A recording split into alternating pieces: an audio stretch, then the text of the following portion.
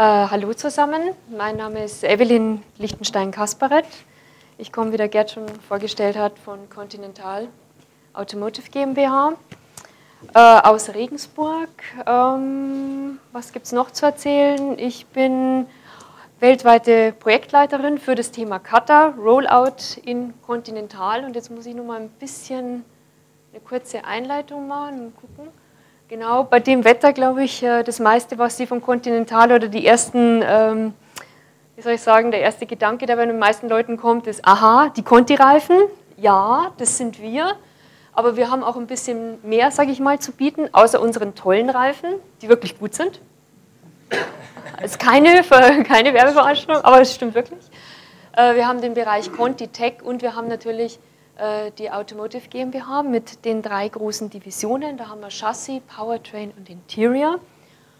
Und ähm, wir haben, ich habe mich verbessern lassen von unseren ähm, Marketing-, Kommunikationskollegen. Wir haben mehr als 218.000 Mitarbeiter weltweit. Wir haben 430 Locations in 55 Ländern. Wir sind jetzt die CEP, die Central Electronic Plants, also wir sind nur ein kleiner Teilbereich. Jetzt muss ich gucken, genau ein kleiner Teilbereich aus diesem ganzen Conti-Verbund. Wir sind ungefähr 32.000 Leute mit 28 Plans. Und wir haben unsere Powertrain-Kollegen, die auch auf diesen Kata-Zug sozusagen oder die den eigentlich gestartet haben. Und das ganze Thema wurde initiiert vom Herrn Avila, unserem Vorstand, der ein ganz tolles Buch gelesen hat, äh, das ihr alle kennt. Und dann gesagt hat, wow, toll, Mike Rother, das Buch, das machen wir. Und so wurde das ganze Thema dann eingekippt und dann ist es bei uns in den Plans angekommen. Wir haben gesagt, okay, ähm, die BU Powertrain, die möchte, dass wir Cutter machen. Oh, was ist denn das überhaupt? Äh, wie passt das zu unserem System zusammen und so weiter. Und dann haben wir auch erstmal angefangen und haben das Buch erstmal gelesen. Und wie schon ein Kollege gesagt hat, wir haben es auch zweimal gelesen und es war nicht so leicht am Anfang zu verstehen. Wir haben gestartet in 2014. Das sind nochmal unsere Plans verteilt und sind jetzt dann eigentlich schon drei Jahre in, diesem, ja, in der Kata-Reise unterwegs. Ähm, das wollte ich auch nochmal zeigen, was sehr wichtig ist. Das sind unsere Kontinentalwerte. Das sind sehr schöne Werte und wir kommen dann zum Schluss nochmal wieder drauf. Und zwar haben wir vier Stück. Und zwar das Thema Vertrauen, was immer eine absolute Basis ist in jedem Unternehmen, in jedem Verhältnis, sei es von Kollege zu Kollege, sei es von Kollege zu Chef und umgekehrt. Das Thema Passion to Win, Spaß dran zu haben, im Wettbewerb zu stehen, was wir alle tun, im Wettbewerb zu stehen, aber das auch gern zu machen. Das Thema For One Another, zusammen, sich gegenseitig zu helfen und natürlich auch das Thema Freedom to Act. Ich kann für mich in meinem Bereich was schaffen, was entscheiden. Gut, wie sieht es jetzt aus bei uns? Wie gesagt, wir haben 2013 sind wir sozusagen von, von der Powertrain-Organisation angestupst worden, dieses Thema zu machen, aufzubereiten. Wir haben 2014 haben begonnen, indem ähm, ich und noch andere Kollegen ins Training gegangen sind. Erstmal gesagt haben, wir müssen selber mal trainiert werden, wir müssen es überhaupt mal verstehen, was heißt das Ganze und haben dann Stück für Stück, wir haben mit vier Plans angefangen, den Prozess aufzusetzen, zu pilotieren, auszuprobieren und sind dann, haben ein Material, einen Prozess definiert, auch, wie gesagt, von allen Quellen, die wir bekommen konnten, vom Gerd, vom Bernd Mittelhuber, Marc Rosenthal, von diversesten äh, kompetenten Trainern die Sachen aufgesogen und auch wirklich versucht, auf uns anzupassen, auf Continental anzupassen, auf uns CEP was passt für uns. Natürlich, die Struktur bleibt gleich, auch die Fragen, die Kernpunkte bleiben gleich, das sind wir auch immer noch strikt. Das, das muss einfach sein, aber wir brauchen auch seinen eigenen Weg. Man muss gucken, was für verschiedene Kulturen habe ich, wie passe ich das ganze Thema an. Mittlerweile sind 22 Werke in dieser Kata-Reise unterwegs weltweit und wir machen weiter. Wie haben wir angefangen? Wir haben für uns, das sieht jetzt für manche vielleicht ein bisschen so, oh mein Gott, das ist, ähm, das ist natürlich auch ein Teil. Wir kommen hier aus einer Zentralabteilung. Wir haben das Thema Continental Business System, was unser Lean-System ist über Gesamtkonti und was für uns immer ganz klar oben drüber steht. Und Kata ordnet sich da auch, sage ich mal, unten ein, unterstützt dieses System. Und das sind wir natürlich auch immer, wenn wir weltweit Dinge ausrollen, getrieben, das ganze Thema zu standardisieren, diesen Standard zu halten, aber auch immer diese Balance zu treffen. Auf der einen Seite, ich brauche einen Standard, ich brauche Dinge, die äh, die Synergien schaffen, die gleich sind. Auf der anderen Seite habe ich eine Plant in China und die tickt anders als wie unsere äh, Kollegen in Budapest oder als wie die Kollegen in Ruby. Das ist einfach, oder in Mexiko, das ist einfach mal sehr unterschiedlich. Wir haben begonnen damals mit dieser Initialisierung und haben erstmal Awareness-Workshops gemacht. Das heißt, wir sind wirklich ähm, mit einem Thema aus dem, äh, oder einem Kollegen aus dem Lean-Umfeld, also mir und einem Management-Kollegen sozusagen durch die Plant-Managements getingelt und haben drei Stunden den Cutter Awareness Workshop gemacht. Mit Domino, mit Papierflieger, mit so ein bisschen erklären und machen wir mal Hände verschränken, so und so, um einfach mal diesen, den Input zu geben. Also auch mal ein Thema, was wir gelernt haben, wir brauchen Zeit. Also das hat sehr gut getan und das war einfach ein sehr großer Aufwand. Im ersten Jahr die Leute langsam zu dem Thema heranzuführen und nicht zu sagen, boah, jetzt kommt hier ein Eimer, wir haben heute schon gehört, kaltes Wasser und das ist es und das ist toll und das macht ihr jetzt. Sondern auch die Leute entscheiden zu lassen, zu sagen, hier ist eine Information, bitte liest das Buch, schaut euch das an, reflektiert.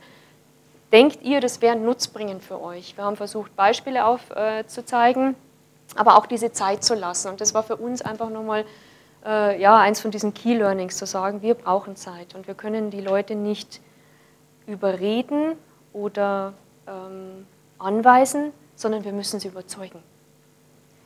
Das zweite war, wir haben dann das Thema Foundation gemacht und das hieß, das Plant Management muss komplett trainiert sein. Und das sind die ersten, die trainiert werden.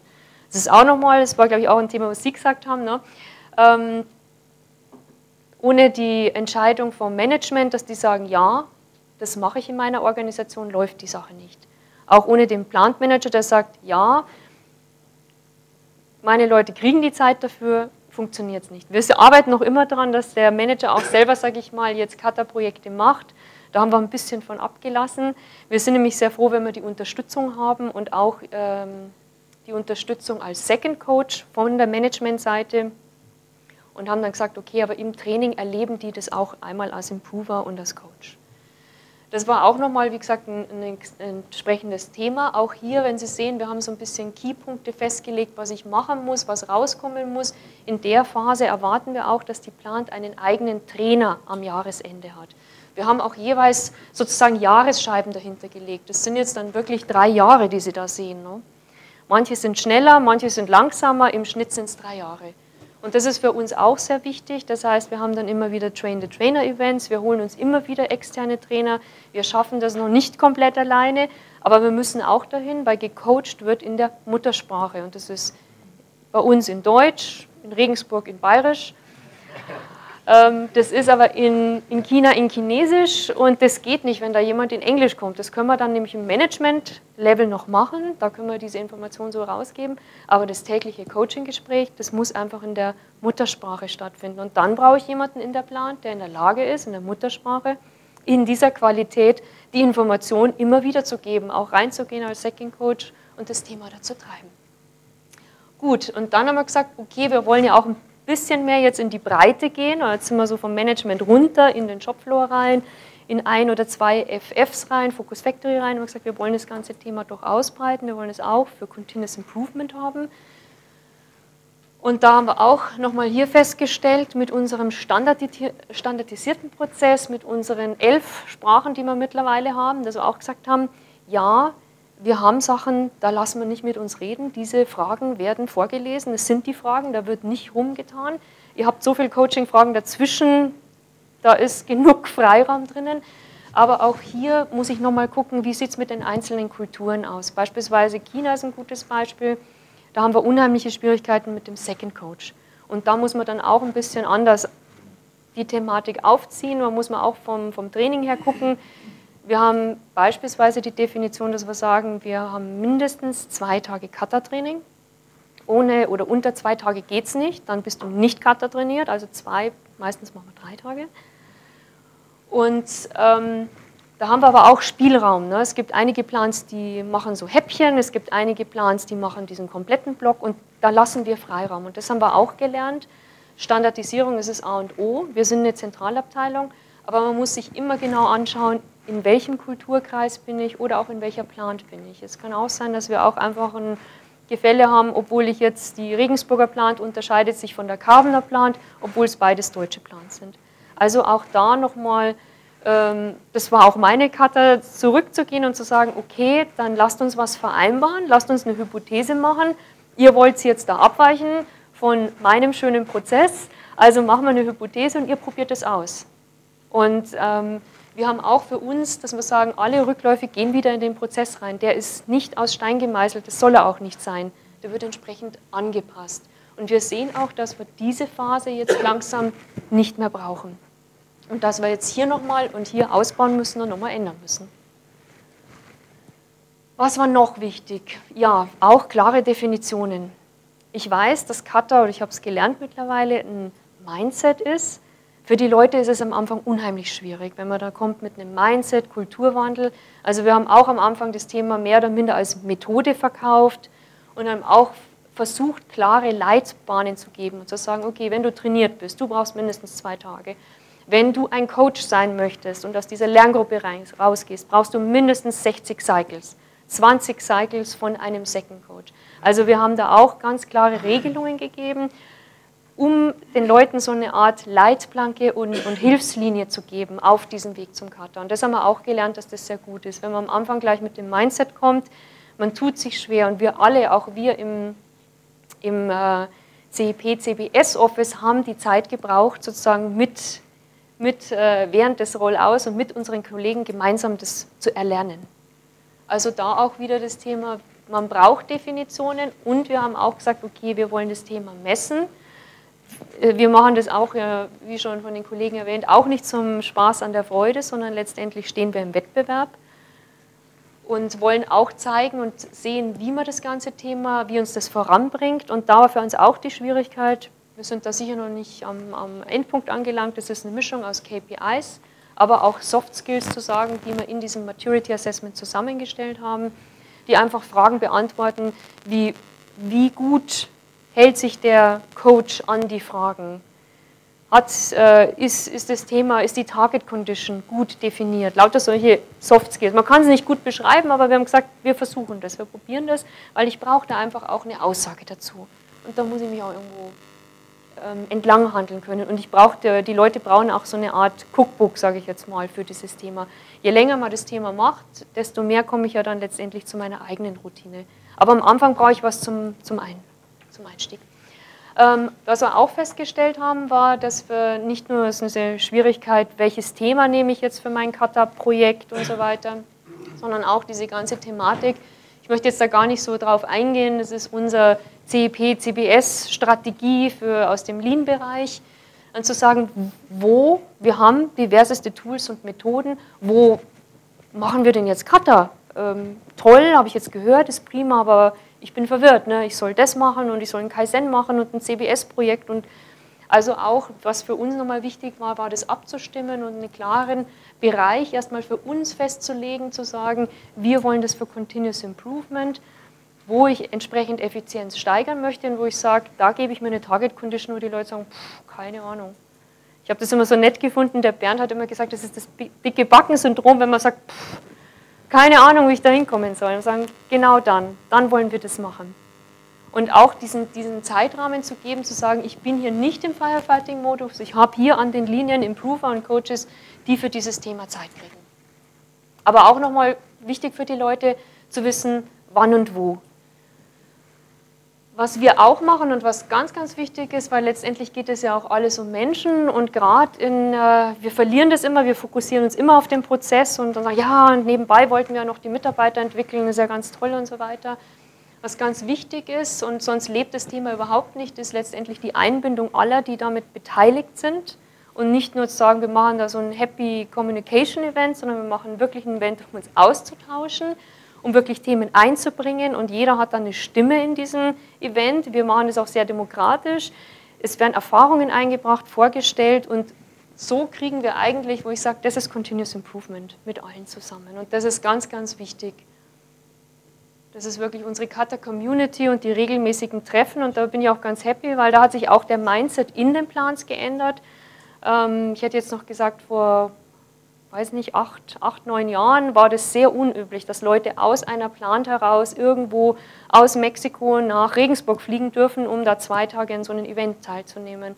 Und das ist auch eine ganz tolle Entwicklung innerhalb unseres Unternehmens, dass man sagt, das ist wichtig. Wir sehen, dass das bringt, bringt uns allen was und die Leute kommen zusammen. Gut, und jetzt komme ich nochmal zurück. Ich, die Folie, denke ich, hat auch letztes Mal der Dr. Braun schon gezeigt, weil ähm, da haben wir festgestellt, wie toll eigentlich unsere Conti-Werte sind, weil die eigentlich wunderbar auch zu, der ganzen, zu diesem Kata-Mindset passen. Wirklich zu sagen, das ist das, was wir haben wollen. Letztendlich wollen wir einen Spaß dran haben, uns einer Target Condition zu stellen, wo wir sagen, pff, keine Ahnung, aber wir schaffen das. Letztendlich ist es eine Geschichte, die wir gemeinsam, es ist keiner hier alleine, sondern wir sind immer in irgendeiner Form in einem Team. Was wir auch haben wollen, ist, dass ich entscheide, welches Obstacle ich nehme, was ich ausprobieren will und letztendlich, wo ich sage, ich habe das Vertrauen, dass ich ein guter Mitarbeiter bin, auch wenn mich mal ein Chef fragt und ich trotzdem sage, ich weiß es jetzt noch nicht. Und das war für uns eigentlich, ähm, zum, da sind wir zum Schluss drauf gekommen und da waren wir eigentlich ganz happy, dass wir festgestellt haben, wow, unsere, unser Kata-Thema passt wirklich toll zu unseren Konti-Werten. Und da schließt sich für uns dann auch wieder der Kreis. Ich konnte jetzt leider nicht alles auf die Zeit ähm, reinbringen. Wir haben auch viele Themen, wo ich sage, da arbeiten wir noch dran. Aber was für mich jetzt einfach mal so ein paar Kernpunkte waren, war einfach dieses Thema zu sagen, ja, es ist sehr gut, dass wir einen standardisierten Prozess haben. Das war für uns sehr wichtig, aber auch immer wieder ganz klar, man muss auf die jeweiligen Menschen, kulturellen Aspekte eingehen und dort immer wieder anpassen und auch Unterschiede zulassen. Das andere Thema war natürlich zu sagen, wir brauchen gewisse Leitplanken, um uns in dieses Thema reinzubewegen. Auch äh, war auch eine Anforderung, ich muss wissen, in meinem Gesamtrahmen, in einem vorhandenen System, wo das Thema kommt neu dazu, wo wird es platziert, wie soll dieses Thema dort reinwachsen, welchen Raum kriegt es. Und auch das Thema, wie komme ich von einem definierten Standard wirklich zu einer Continuous Improvement Kultur, dass ich, ich muss die Menschen wirklich mitnehmen und einbinden. Und letztendlich, wo wir ganz happy sind, wo wir sagen, wir haben klasse Werte ne, bei Continental. Gut, das wäre es von meiner Seite. Dankeschön. Evelyn.